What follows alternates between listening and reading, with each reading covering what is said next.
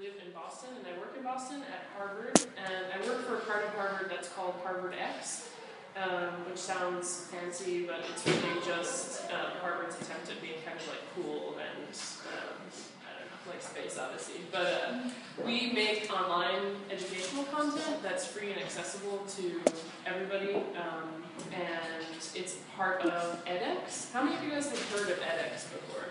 Just like a show of hands. Okay, so most of you. How many of you have heard of MOOCs before? Okay, so um, there's been kind of a burgeoning, like ex- exploding movement online um, of these things called massive open online courses, which were actually developed a long time ago, um, kind of in the, the, at the dawn of the internet, uh, as a way for lots of people to come together and teach each other different things and share skills and knowledge. And now it's uh, it's really big because a lot of universities have gotten on board and they're putting their courses online for free. And a lot of them are so big, they call them massive. There's upwards of 10, 20, 30,000 people who are registered and taking these courses. And there's communities around the courses, um, and Harvard X is one of those universities that's doing um, doing this MOOC creation on a large scale. Um, and edX was actually founded by Harvard and MIT because they realized that higher education was kind of missing the boat when it came to the internet and how much power the internet had to bring people together to learn stuff. So um, decided to come together and create this initiative to put a lot of courses online. So what I'm going to do today is kind of like a bunch of different things, but I make a neuroscience course for Harvard X, which is free, it's open, you can access all of the material, it's online. That's mcb80x.org or fundamentalsofneuroscience.org. MCB80 is just the course name at Harvard, which we, um, which we took on as our online course name. Um, so I'll talk about that. I'll talk about MOOCs in general, where you can kind of find uh, educational material to, to check out online. And then um, also, uh, we're going to do a little experiment, which is an experiment um, using this SpikerBox, which is open source. You can build it yourself. It's similar to the EMG um, box or the EMG experiment that I think uh, you've been running here, doing kind of fun stuff with that, and we can talk about this a bit later. But basically, what we're going to do is listen to some neurons firing in a cockroach, and then we're going to see how we can um, play around with electricity in those neurons um, in a fun way, kind of in the reverse. Um, and all of the, the stuff that we're doing today, we have videos and, and material and content on the MCB80X website. So if you don't get it, or you're confused, or you want to look at it again, or try it out yourself, all of that stuff is online.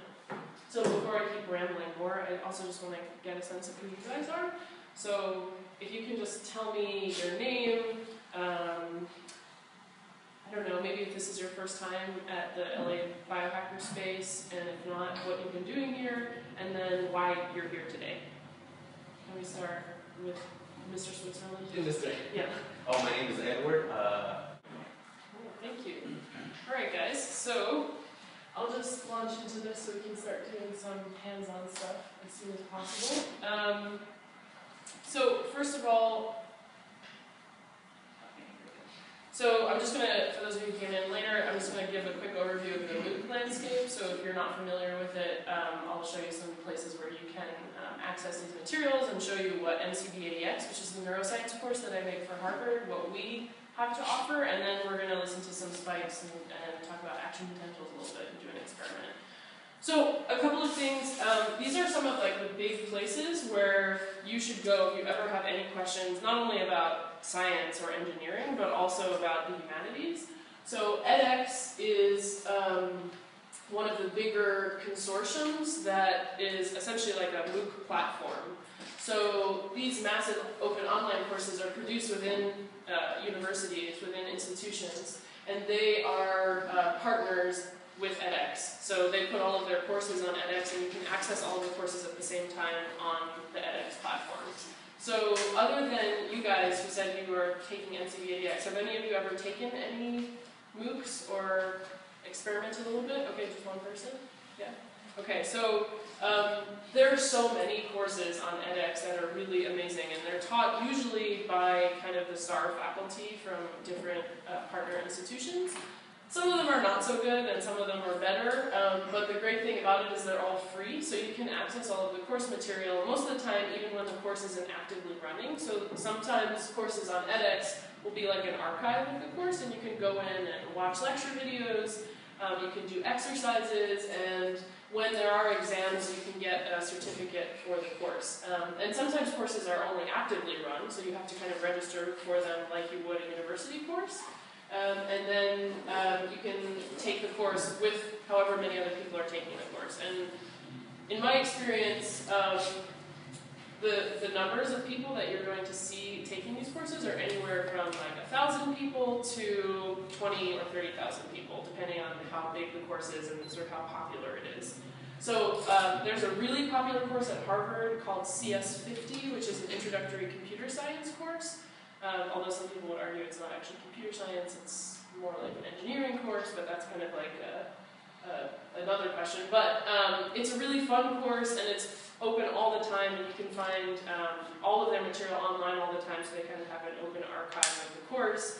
And they have a lot of events where you can go if you live on the East Coast, but they also do kind of like traveling um, uh, events as well. So there's a lot of like different variability in terms of the types of courses that you can, can take on edX. Um, and Coursera is another big platform for taking MOOCs. So if you can't find what you're looking for on edX, and there are hundreds of courses on edX, you can definitely find what you're looking for on Coursera.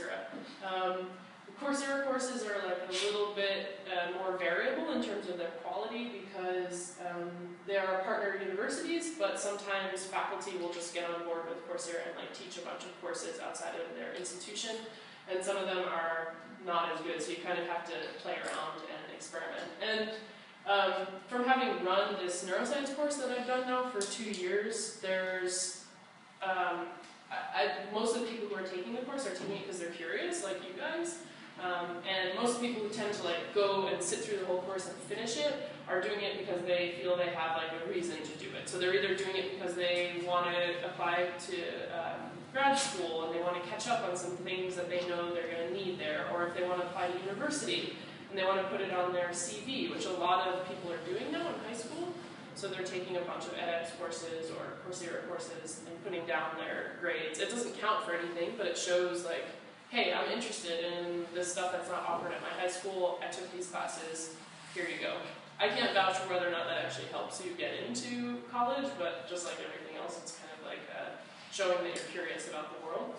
Um, but people who don't finish the courses are it's not necessarily a failure. You can go in there if you have a question about something. Like if you have a neuroscience question and you can't answer it by looking for stuff on the internet, or asking somebody you know who is a neuroscientist or has a biology background, you can go into these courses and find that information taught by university professors. So I think a lot of people, I always get surprised because I like live, live and work in this space, but a lot of people don't know about MOOCs at all. But they're, it's such a huge resource, it's, it's kind of crazy. Another thing that's been around for almost 10 years now is MIT OpenCourseWare. Have any of you guys ever heard of that before? Okay, a couple of you, yeah. MIT OpenCourseWare I love because I used to go to MIT, and so uh, I think it's great. I think it's the best. But uh, but it's also pretty cool because it's a complete archive of most courses that have been taught at MIT for 10 years. So they have like multiple years worth iterations of the courses. Um, they have lecture videos. They have all of the quizzes and all of the past exams. Um, and you can't get any credit or anything, but it's a huge resource. So if you don't know anything about physics and you want to um, refresh or you want to um, learn something about civil engineering because you're just curious, you can go and like take all the introductory classes that are up on MIT OpenCourseWare. So they were kind of like the original MOOCs, um, but not sort of um, given to people in a way where they were kind of like present. So this is just an archive, and these are more taught. So you have like sometimes you can engage with the faculty members um, for these courses. And a lot of times there's you're engaging with other people who are taking the class, so they're kind of different flavors of online uh, open courses.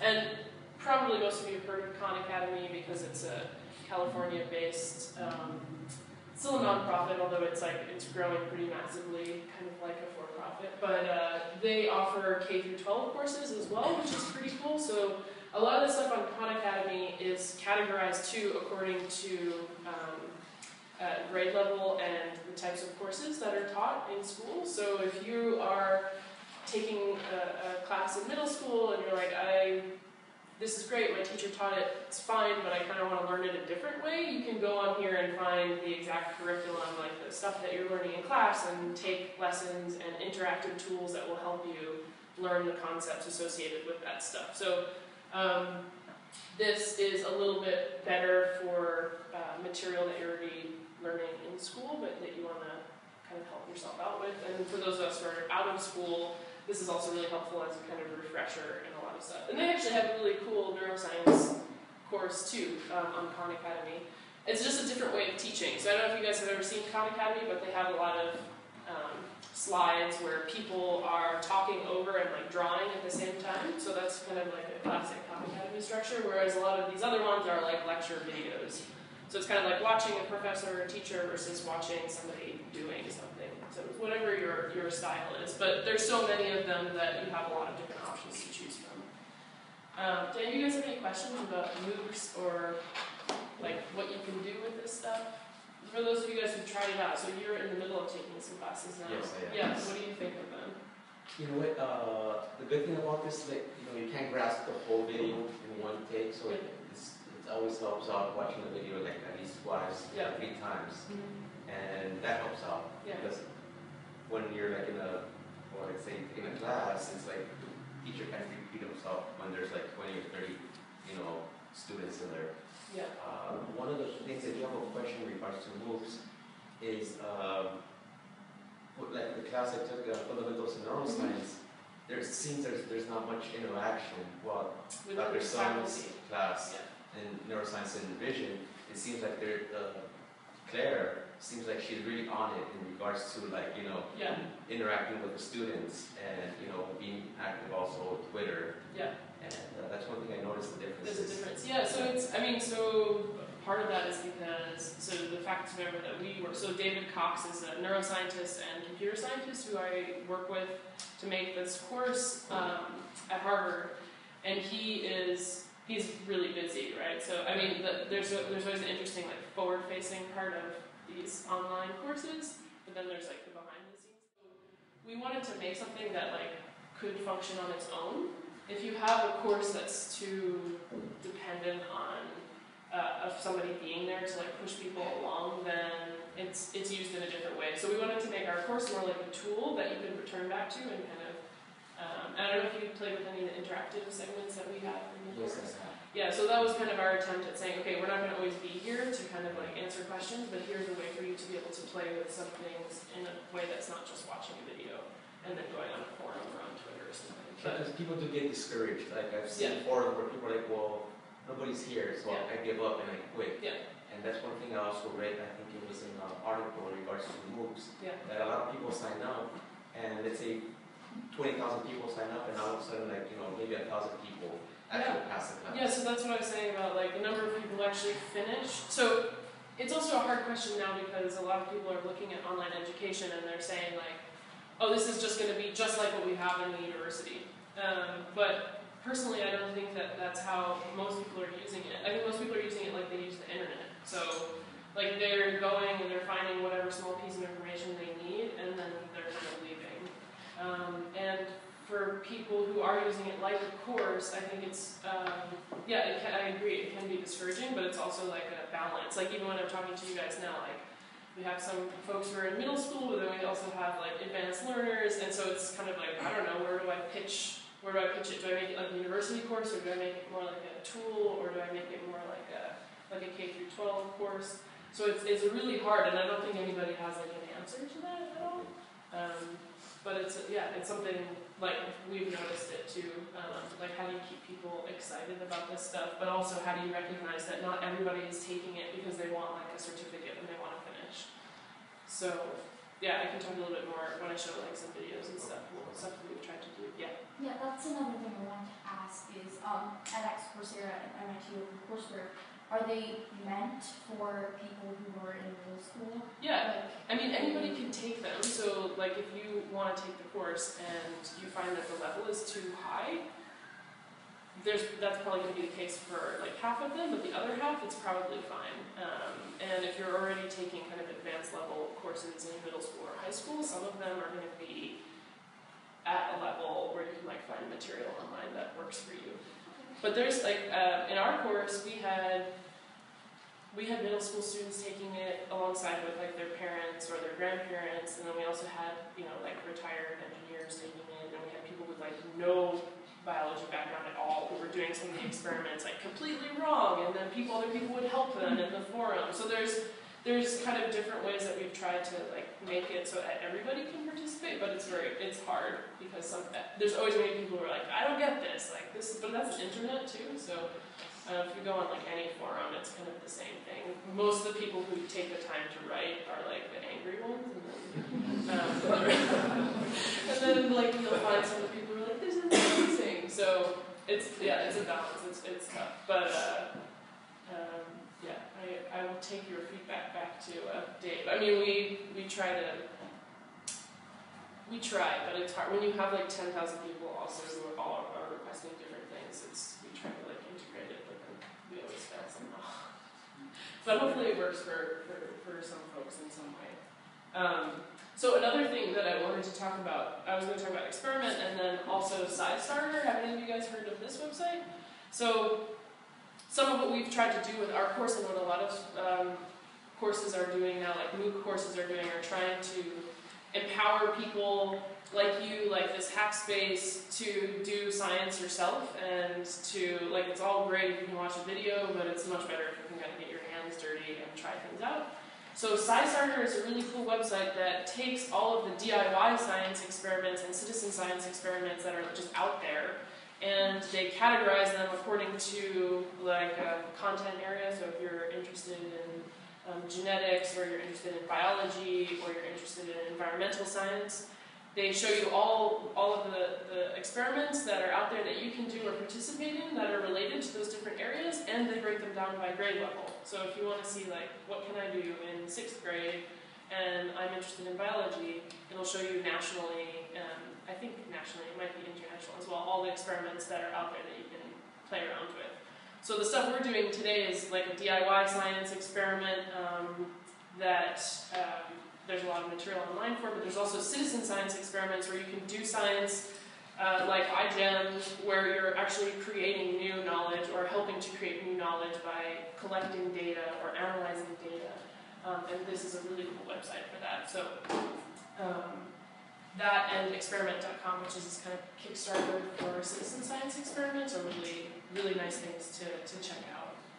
Um, and this is just like an example of one of the citizen science experiments that's on SciStarter, which is a little bit related to what we're doing today because we're working with cockroaches. But um, this is a the National Cockroach Project, and so this uh, was a way to have lots of people participate in figuring out like what's the gen- genetic diversity of cockroaches in the U.S. We know there are a lot of them, uh, but we don't really know about um, what the differences are between cities, uh, what that variation looks like or that variability looks like, and so this was kind of a fun way for everybody to get involved in at least collecting data.